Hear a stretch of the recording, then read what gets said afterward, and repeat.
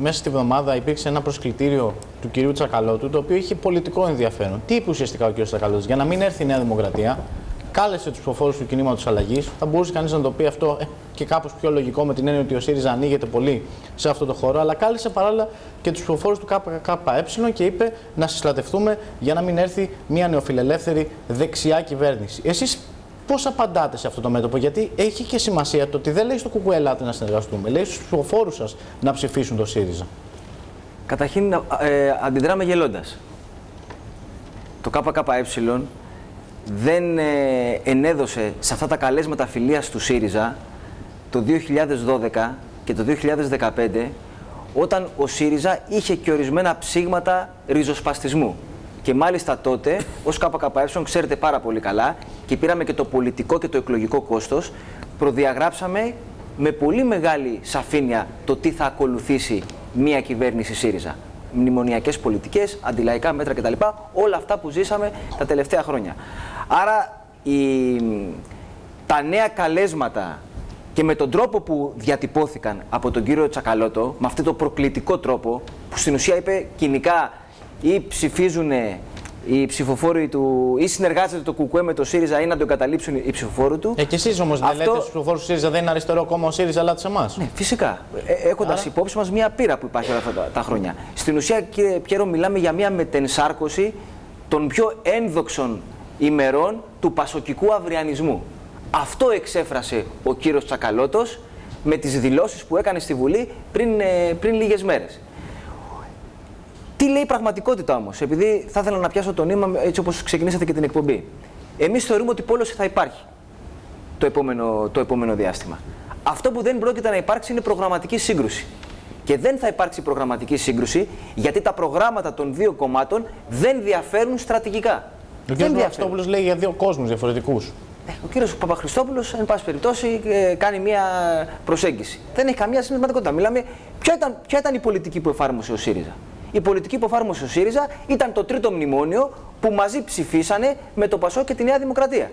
Ο ΣΥΡΙΖΑ ακολουθεί και θα ακολουθήσει τις μεταμνημονιακές δεσμεύσεις όπως αυτές αποτυπώνονται και στις εκθέσεις της Κομισιόν και σε αυτές δεσμεύεται και η κυβέρνηση, η πιθανή κυβέρνηση της Νέας Δημοκρατίας. Άρα εδώ δεν μιλάμε για προγραμματική σύγκρουση. Εδώ μιλάμε για κοινή στρατηγική με ορισμένες παραλλαγές και μάλιστα μπορώ να σας πω χαρακτηριστικά Μάλιστα, είπε ψέματα χθες ο κύριος Σακαλώτος. Είπες στην, Για ποιο θέμα είπε ψέματα; είπες στην παρουσίαση του προγράμματος ότι με κυβέρνηση ΣΥΡΙΖΑ σταματήσανε να πληρώνουν ε, οι μεγαλοσχήμονες και οι πλούσιοι να πληρώνουν εθελοντικά. Όταν πριν ένα μήνα αυτή η κυβέρνηση με τις ψήφους της Νέας Δημοκρατίας και του Κινάλ έφερε τροπολογία για την εθελοντική εισφορά των εφοπλιστών στο ύψος των 40 εκατομμυρίων Μπορούσαν να κάνουν ε, αλλιώς. Ευρώ. Εγώ λέω τι φέρανε. Βεβαίως. Εμείς λέμε... μπορούσαν να κάνουν αλλιώς. Βεβαίως μπορούσαν να κάνουν αλλιώς. Πώς; Εμείς λέμε ότι προκειμένου να, να ανακουφιστούν τα λαϊκά στρώματα, να υπάρχει πραγματική ανακούφιση και φορολογική,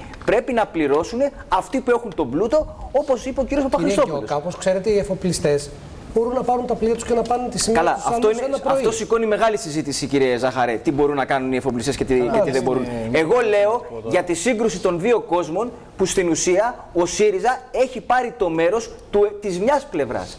Μαζί με τη Νέα Δημοκρατία και το ΚΙΡΑΛ. Αυτό δείχνουν τα πεπραγμένα του. Αυτό δείχνουν τα πεπραγμένα του. Ε, λοιπόν, να ρωτήσω, και επειδή, επειδή, να τελειώσω μόνο με αυτό, και αυτό ξέρετε δεν, φαίνεται, δεν φάνηκε μόνο στις πολιτικές που εφαρμόστηκαν. Αυτό φάνηκε και στις πρακτικές.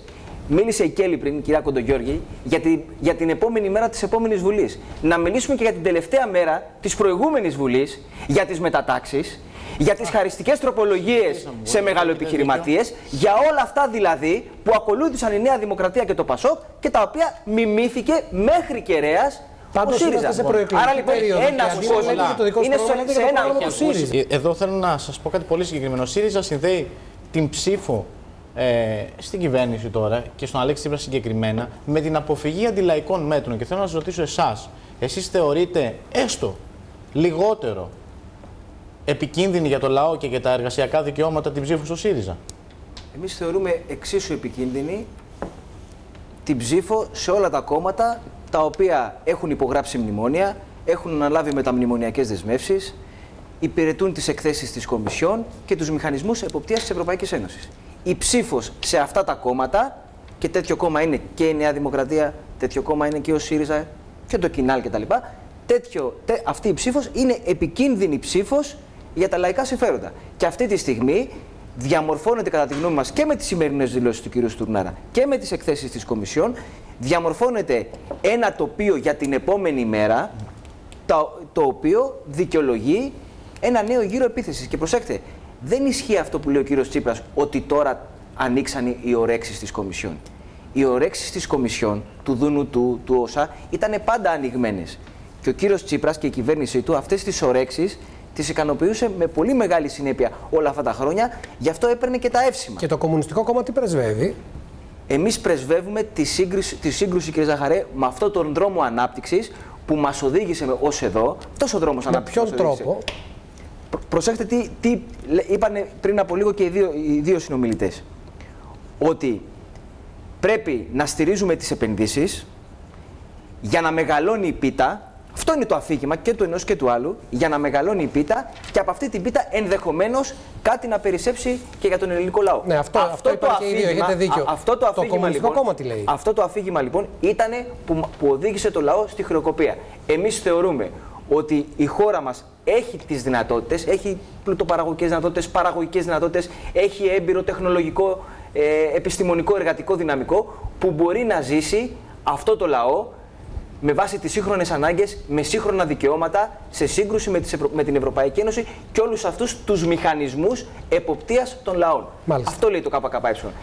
Κρίνεται αυτό στις 7 Ιουλίου; Δεν κρίνεται αυτό. Αυτό που κρίνεται όμως, κύριε Ζαχαρέ, είναι να υπάρχει μία δύναμη ισχυρή μέσα και στη Βουλή και μέσα στο λαό για να ματαιώσει τα νέα μέτρα και να διεκδικήσει να πάρουμε πίσω όλα όσα χάσαμε. Μάλιστα. Και με τους μεν και με τους δε. Μα πείτε Άμα αυτά θέλετε τα και για βάζουν, το κενό, γιατί να εδώ ο κύριος πείτε, γιατί- Θεοχάρης Που έκανε και δεν κάτι το- ασχολείται με τέτοιες Έκανε ανοησίες και και θα το κάτι λέω εγώ. πολύ από πριν. συγκεκριμένο. Ποτέ δεν θα Είπε, ασχολείται. αν ψηφίσετε άλλο κόμμα αστάθεια και προφανώς εννοεί και εσάς.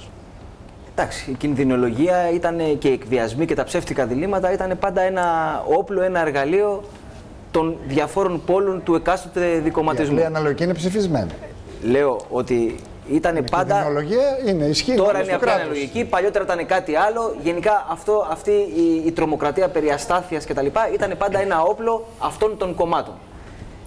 Εγώ αυτό που θέλω να πω είναι ότι την επόμενη μέρα, στις εκλογές και την επόμενη μέρα, αυτό που θα έχει σημασία δεν θα, έχει- δεν θα είναι ούτε η ψαλίδα ανάμεσα στο πρώτο και στο δεύτερο, αν θα είναι 8, 9, 10.